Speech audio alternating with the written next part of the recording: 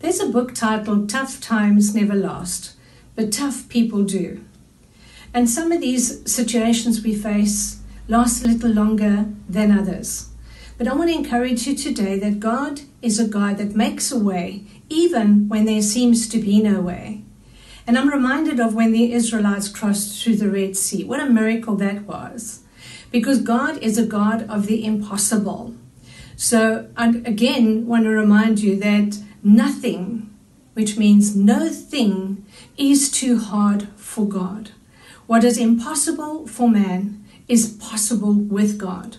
And I know we all go through difficult times and thoughts and through doubt and unbelief.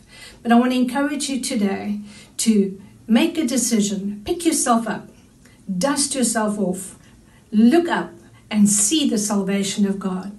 And I want to pray with you today. So let's just pray together. Father, I thank you that we can come to you in the name of Jesus.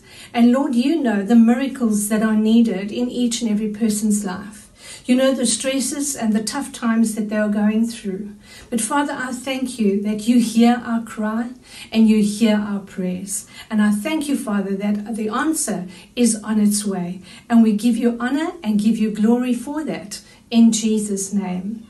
And I want to encourage you, please let us know the miracle that God has done for you. Send us your testimonies. We'd love to hear because it will encourage others as well. God bless and have a wonderful week.